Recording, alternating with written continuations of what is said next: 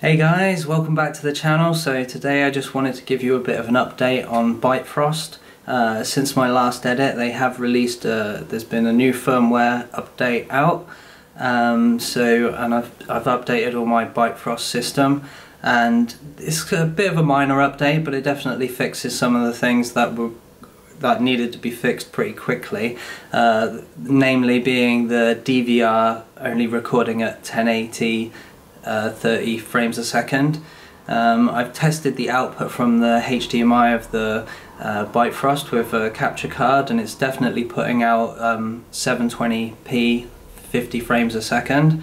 Um, I've also had it confirmed that Fat Shark HDO goggles um, the screens run at 60 hertz refresh rate so they're more than capable of running uh, of showing you the 50 frames a second in the goggles so that's nice.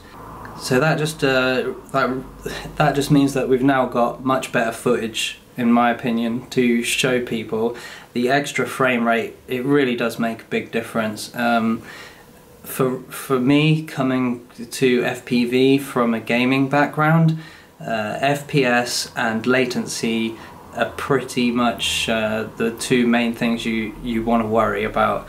Um, you can play a computer game with seriously low graphics but if you've got a nice high frame rate and low latency um, you can play it really well. So uh, having the most amazing best looking image really isn't the most important thing to everyone especially for people running a GoPro and doing freestyle. I mean, it does improve the experience flying with nicer, uh, with a nicer FPV feed, but at the end of the day it doesn't really matter that much as long as you can see the gaps that you want to hit and you can still do all the things you want to do.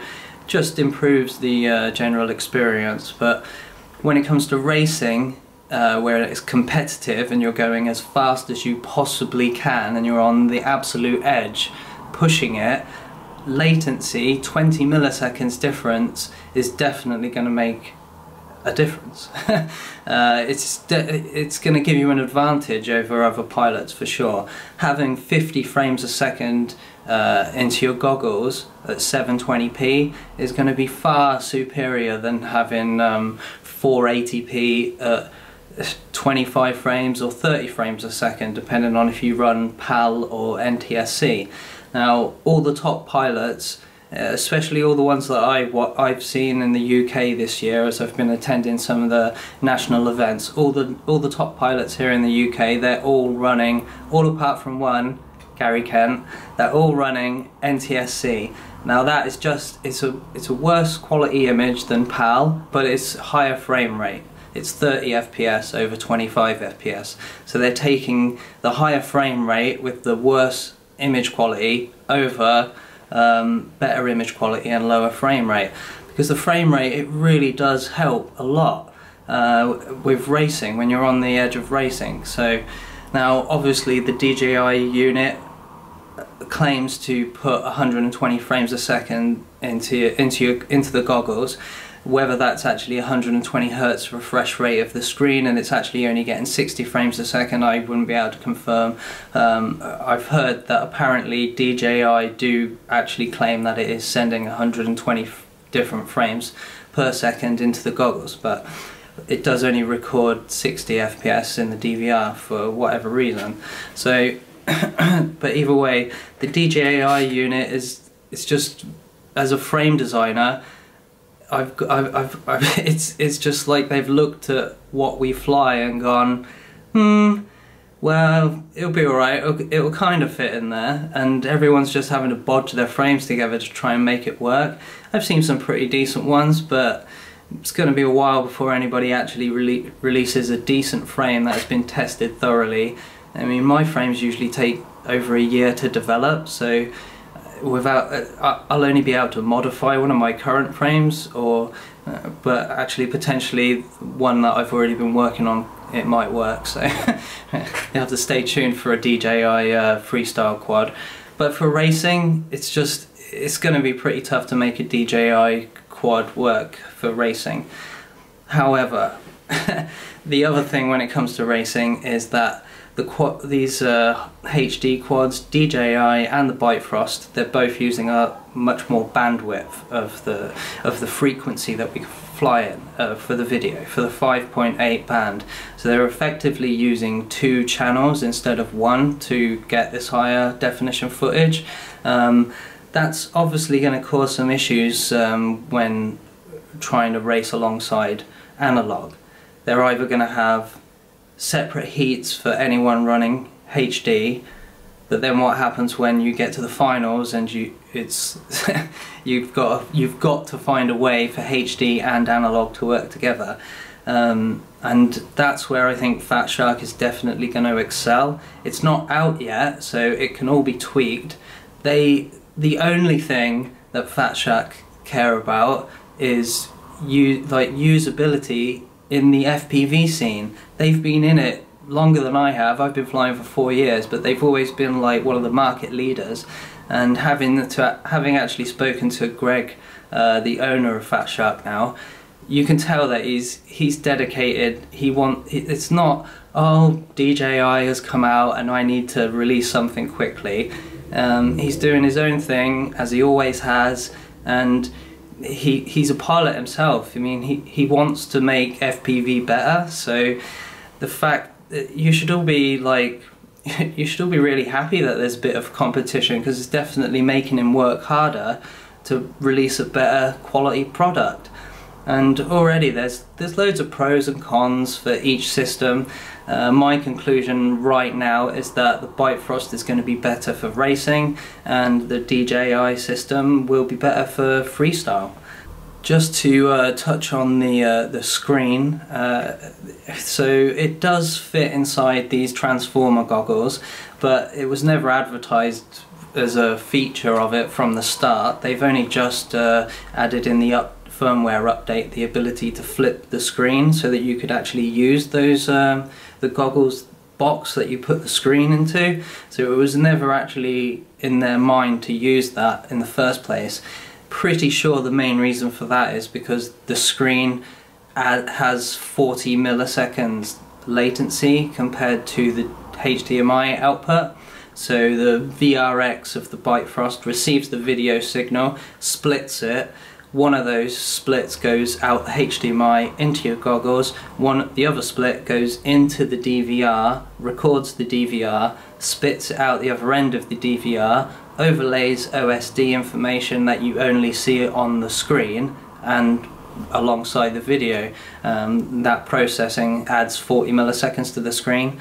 So yeah if you're just floating around doing a bit of freestyle and if you don't notice say you can fly a runcam split and not notice the latency then yeah flying from the screen you're probably going to be fine but if you're if you're if you're racing or like flying fast trying to hit tight gaps, getting into trouble a lot and you need to get out you need to get out of trouble quickly you're probably going to struggle a bit to fly from the screen. I've managed to when I did the goggle thing but it did feel really weird. Initially I thought it was uh, just the strange experience of flying from a screen for the first time in a long time um, but it's probably more likely that added 40 milliseconds latency because uh, yeah it was a bit weird. So uh, so I touched on earlier that I have had it confirmed that the H uh, HDO, Fat Shark HDO goggles um, are, do have a 60 hertz refresh rate so they're fully capable of displaying um, the Byte Frost image. That's not entirely accurate because the Byte Frost, not only is it putting out a 720p, it's 720p widescreen. So it's 12, I'm probably going to say 1280 by 720. I'll put something here if I've got that wrong. Um, so it's a widescreen image as opposed to the DJI system which is actually putting out a 4.3 image and then when you view it in 16.9 it crops it down so you lose a load of the field of view. Um, so the Byte Frost unit is putting out a widescreen image um, in 720p. Now no Fat Shark goggles do widescreen 720p the HDOs are the only ones that do 720 um, but they're not designed to run 16.9 at 720 Uh, so when you put 16.9 on the output, it literally just squashes it down into 4.3. Um, there's no, it can't do any scaling. The goggles don't do any scaling because that also brings in latency. So if you've got any like cheap goggles that automatically scales, um, they've got more latency than Fat Sharks because they'll have an extra chip to do all the processing. So any form of processing that you do is going to be adding latency, which is why I can I really do think that the DJI system must have more latency than the Byte Frost system. But if it ever if it stops raining for more than two or three days and the grass can dry out just a little bit, I will risk racing on grass with my uh, Bifrost system. But at the moment, all I've been able to do is kind of uh, tear it around uh, the quarries because it's dry. And it's not so much the quad, it's more me and all my gear gets completely soaked when you go and stand in a soaking wet, soggy field uh, for a few hours flying. So um, yeah, I'm dedicated, but I like to stay warm and dry. So uh, nobody's really talking about the LQ um, mode of the Byte Frost system.